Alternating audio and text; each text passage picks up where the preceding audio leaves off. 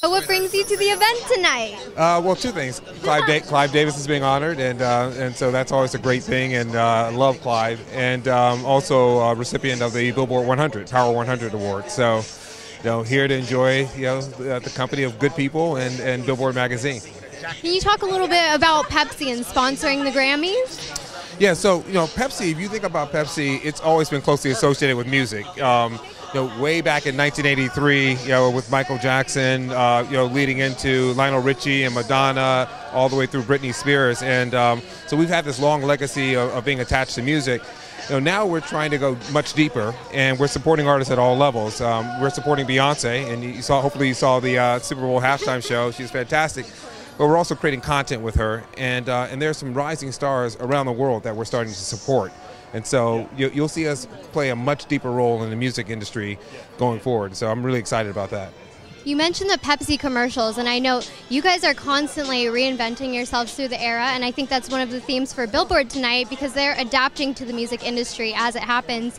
How is kind of evolving important to Pepsi?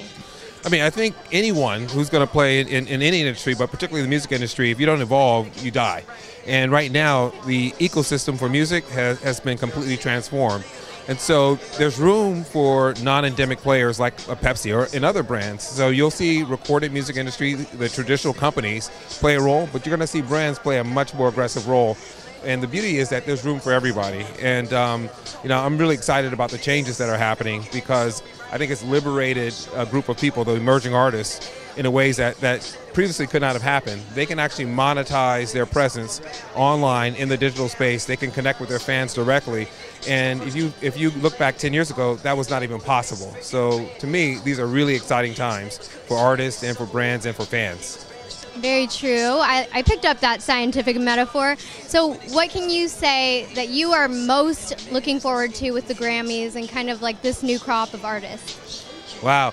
What am I most looking forward to? I'm, I'm you know, I, am really excited about Frank Ocean. I think what, what he's doing is, is wonderful. Um, I'm really happy to see Justin Timberlake back after, you know, six years. You know, uh, I got a lot of love for Beyonce, and, and she'll be here presenting an award at least. Um, so, for me, those will be the highlights. Yeah. Thank you so much for talking to us. Thanks a lot. Good seeing you. The record companies is lazy, right? So it ain't no infatuation.